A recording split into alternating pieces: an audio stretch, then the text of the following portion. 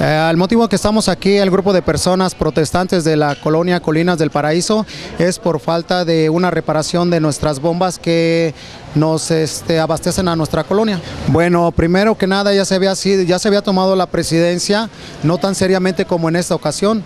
Aproximadamente el problema del agua viene desde hace tres meses y medio, lo cual este, quedaron con falsas promesas de arreglar, eh, solucionar el problema y nunca se solucionó.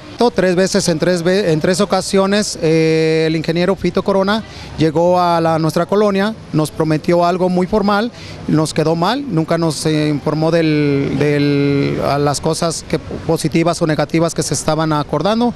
Entonces es esto nuestra molestia y llegamos al punto de venir a tomar la presidencia.